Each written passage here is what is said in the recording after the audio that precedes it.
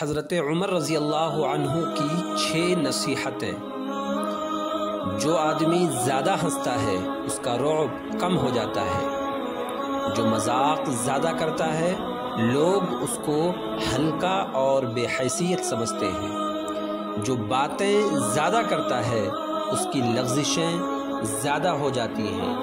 जिसकी लफ्ज़िशें ज़्यादा हो जाती हैं, उसकी हया कम हो जाती है। और जिसकी हया कम हो जाती है, उसकी परहेजगारी कम हो जाती है। जिसकी परहेजगारी कम हो जाती है, उसका दिल मुर्दा हो जाता है।